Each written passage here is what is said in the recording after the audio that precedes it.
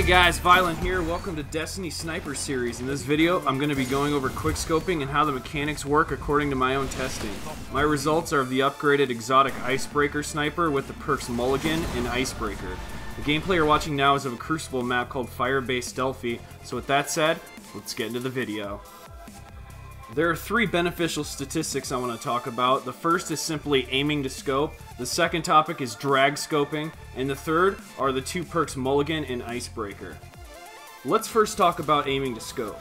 Recording at 60 frames per second breaks down a quick scope into 3 20ths of a second.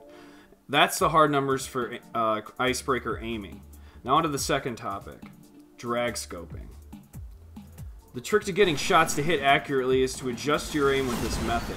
When you drag scope, your aim is positioned to the left or right of your target and you sway across your target as you pull the trigger. That is how you properly quickscope.